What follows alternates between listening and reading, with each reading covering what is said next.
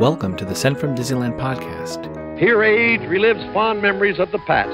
If it's your first time joining us, welcome. On this episode, we'll take a journey into the past and explore Disneyland and Disneyland history with mementos, snapshots, and postcards sent from Disneyland from 1955 to the present. Today, I'm starting off by thanking my patrons from patreon.com. You can join and receive mail from my desk or from my Disneyland trips. Special thanks to Random Olive, the first patron to this podcast, and the e-ticket patrons Tania, Eric Daniels, Joe Gamble, Scott Booker, Monica Seitz Vega, Russ Romano, Michael and Christina Cross, Scott Cagle, and Sheila Harry. C-ticket patrons Serious Inquiries Only, Debbie Weinstein, Jennifer Schneep, Grace Coate, Brian Crawford, Ben and Noel Bruning, Patty Wolin, Angela Reynolds, and Aaron Moran. B-ticket patrons Jeff and Paige Orton, and Joshua, inexorable Tosh Bell. And the A-ticket patrons Elise Sharp, Zealot Infinity, Alexis Robles, Maggie and Henry Byers, the Disney Rewind podcast, Angel DeBlock, and the All Aboard podcast. You can also sign up for my new newsletter for a chance to get some postcards delivered by the USPS to your mailbox. I am your host, your post host Clocky, and today we have two postcards sent from Disneyland. The front of our first postcard has a submarine Triton heading out for an underwater adventure. In the background, you can see Monorail Red at the Tomorrowland station. On the back, it reads Submarine Ride. In Tomorrowland, you'll explore the mysteries of the seven seas aboard authentic submarines, viewing the lost continent of Atlantis, the Mermaid Lagoon, and traveling beneath the polar ice cap. It's postmarked January 2nd, 1964, with an Anaheim Fight TB Support Your TB Association cancel and a 4 cent Lincoln postage stamp, Scott number 1036. I assume they visited the park on Wednesday, January 1st, 1964, when park hours were from 10 a.m. to 6 p.m. The weather was a high of 81 and a low of 44. Park attendance that day was 12,641. It's addressed to Mrs. Florence Wolfe of Portland, Oregon. It reads Dear Graham, We've been on the monorail at Disneyland. Love Scott. As we come up on a new year, I thought it would be fun to look at Disneyland 60 years ago and 50 years ago to see what anniversaries we'll have to look forward to and some of the events that happened in 1964 and 1974. Looking back 60 years ago to 1964, it was a large year for Disney Entertainment outside of the park. 1964 being the year the New York World's Fair opened. Great Moments with Mr. Lincoln, It's a Small World, The Carousel of Progress, and The Magic Skyway all started in New York and eventually made their way west. The Carousel of Progress was only on the West Coast for six years and reopened in the East Coast a few years after the Magic Kingdom opened in Florida and has been there ever since. One expansion to the park, or an expansion to an attraction, was the Below Decks Museum on the sailing ship Columbia. Looking at some photos of the Columbia on Daveland Web, you can see there was a rowboat where the current entrance of the lower decks of the Columbia are today. The museum is currently still there and showcases the different crew quarters and living situations one might experience as a member of the crew. 1964 was also the last year Disneyland hosted the Western Regional Pancake Race. For more about the pancake races, listen to episode 167 Sent with Pancakes and Corn.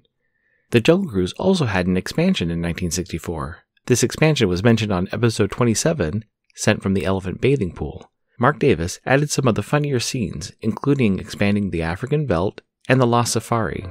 Finally, there was one name change in 1964. The Astro Jets became the Tomorrowland Jets.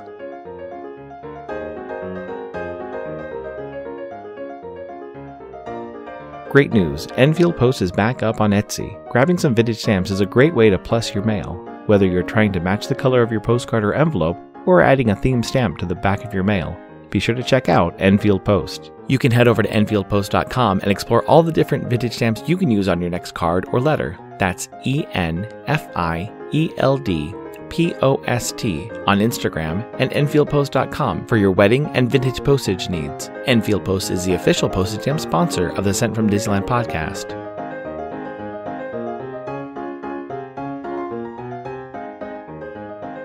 Front of our next postcard has the Main Street Railroad Station. You can see the Ernest S. Marsh bringing in passengers from a Grand Circle trip around Disneyland. On the upper right, it reads, Greetings from Disneyland. On the back, it reads Entering Disneyland, guests are greeted by a floral Mickey Mouse and the Santa Fe and Disneyland Depot, where a scaled down model of a passenger train of another era puffs out of the station to take them on a scenic tour of Disneyland. It's postmarked January 3, 1974, with a United States Postal Service cancel and an 8 cent Eisenhower postage stamp, Scott number 1395. I assume they visit the park on Thursday, January 3rd, 1974, when park hours were from 10 a.m. to 6 p.m. The weather was a high of 56 and a low of 38, with 0.0 inches of precipitation. It's addressed to Mr. and Mrs. John R. Esch and family of Broomall, Pennsylvania. It reads Having a great time with Jean, Kathy, and Bob Benson. Came here last night, going to Jack and Phyllis Livingston Sunday toured Universal Studios today, Disneyland tomorrow. Love, Ruth and Boys. 50 years ago was 1974. One of the main additions of the park in 1974 was the America Sings attraction. My summer 1974 Disneyland map even has the eagle and owl characters from the attraction on the cover, and my particular map had opening June 29, hand stamped on the cover. The attraction did open that day, although it closed after an incident on July 8, 1974, when a cast member, Deborah Gale Stone, lost her life at the age of 18 while operating the attraction. As a result of her death, the attraction was closed for three days, while Imagineers added additional warning lights and other safety measures. There are many special days and weekends during 1974, including Herbie Day at Disneyland. This event was held on June 30th and was recorded then aired on The Wonderful World of Disney on July 11th to promote the new movie Herbie Rides Again. To learn more about this event, check out episode 80 sent with Ike postage. This event was in addition to the Love Bug Days held May 11th and 12th in 1974. As I mentioned in a recent episode, 222, sent via the Santa Fe, the Santa Fe sponsorship was not renewed, and the attraction has just been called the Disneyland Railroad ever since. Another special, which was filmed in the park, was Sandy in Disneyland. The special featured Sandy Duncan and many other special guests. I've seen parts of it before, but we'll save a summary of it for a future episode in 2024. This incoming postcard is sponsored by the Art Throwdown. Art Throwdown, or ATD, is an online craft hour on Instagram, starting at 9 p.m. Eastern, 6 Pacific. Be sure to check out Monday's ATD, which is usually hosted by paper artist Russ Romano. I see many amazing art projects, learned about awesome postmarks, postage stamp history, and a lot more on different episodes. It's great to stop in for an hour to watch someone craft or design something unique. Each host brings something a little different to each show. I'll list some of the regular hosts, or you can follow Russ Romano 2021 on Instagram.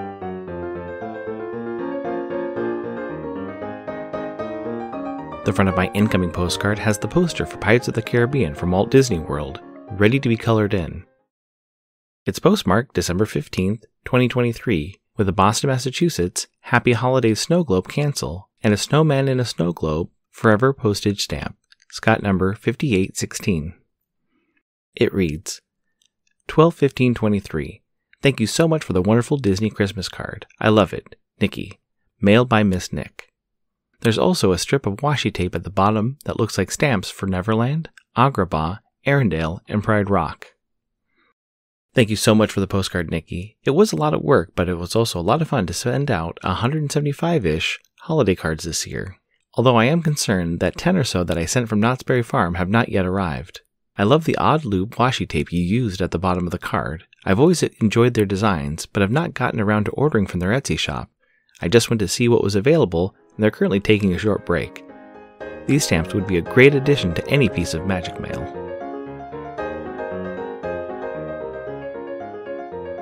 Thanks for listening to Sent from Disneyland. If you enjoyed this podcast, please subscribe and tell your friends. It would be helpful to share your favorite episode to a friend or on social media. There are over 200 to choose from. It would also help to leave a five star rating and comment on whatever podcast platform you use. If you'd like to support the show financially, please check out our Patreon page at patreon.com slash sent from Disneyland. You can find me on Instagram and Facebook at Sent from Disneyland or on Twitter at Sent from Disney. For questions and comments, send me a postcard addressed to Sent from Disneyland, P.O. Box 44, Hood, California 95639. This podcast is not affiliated with Disney, the United States Postal Service, or any post office or Disney properties. Opinions expressed on this podcast belong to its host and guests of the Sent from Disneyland podcast.